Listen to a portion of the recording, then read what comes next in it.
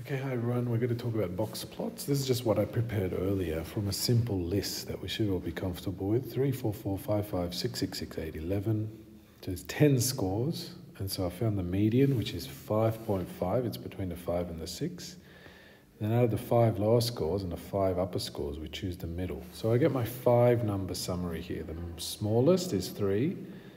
Q1, the lower quartile, is 4. Q2, the median, is 5.5 the Q3 6, and then the maximum is 11. And so this is how we need to do it. We've got an even scale along the bottom, and then the box goes around the Q1 and the Q3, and then the Q2 is a line in the middle, and then we've got our minimum and our maximum. You don't usually need to label that, I'm just labeling that for illustrative purposes.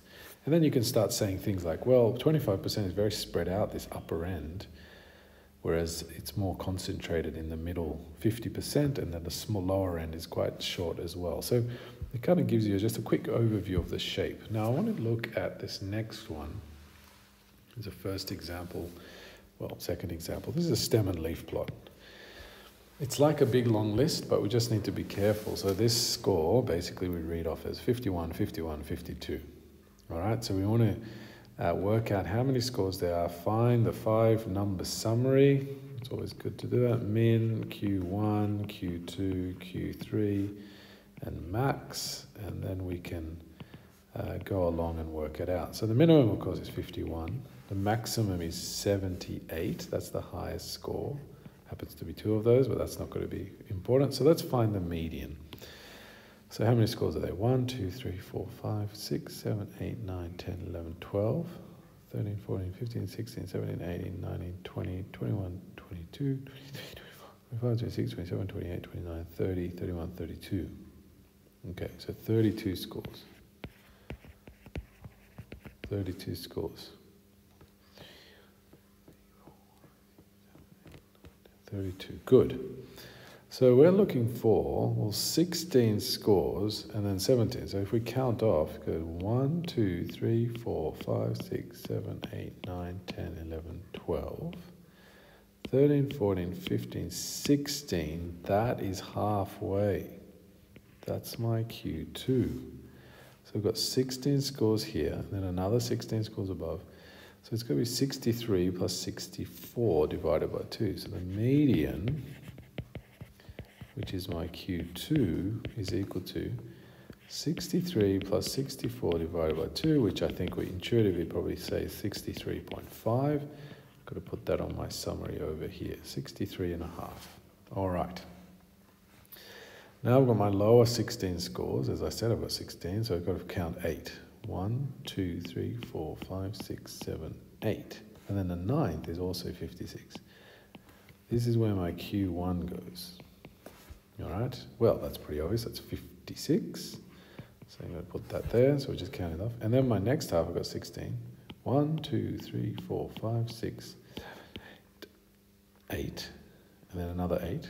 So my Q3 is here between the two scores. So Q3, my upper quartile, 73 plus 74 divided by 2, which is 73.5. So we've got that here. All right, so once you have your whole summary, then we're in a position, remember it's 51 up to 78, so it's quite a large range. I'll do my straight scale across here. I'm going to start down here, do 53, 54, 55, 56, 57, 60, I'm not going to get there. Okay, it's too big a scale, so I'm going to adjust that. So we might need to just do it accordingly. I'm going to start with 50,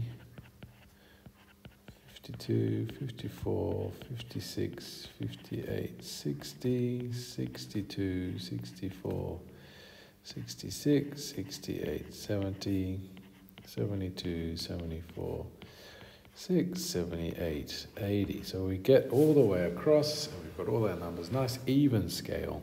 All we need now is our kind of our thing to say the five number summary over here.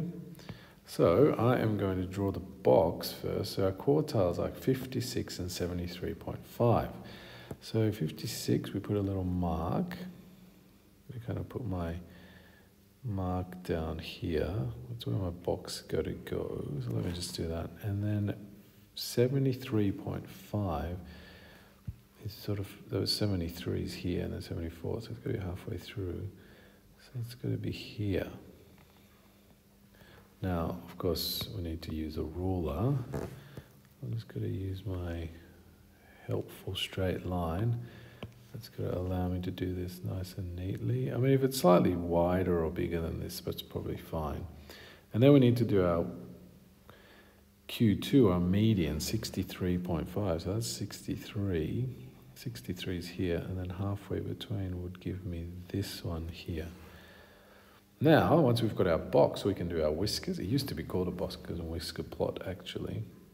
78 is my max. 51 is down here. That's my min. Little markers there. And then we connect it up nice and straight with a, oops, nice and straight with a line. And if we do that, hopefully we can just not go crazy with it and just move that along. So that's how we do one from a stem and leaf plot that we can see. It could be wider. Maybe we should do the next one a bit wider actually, and just to show variation on that. And that's how we do it. Nice even scale. Find all the data from the stem and leaf plot, and then we can read it off. Okay.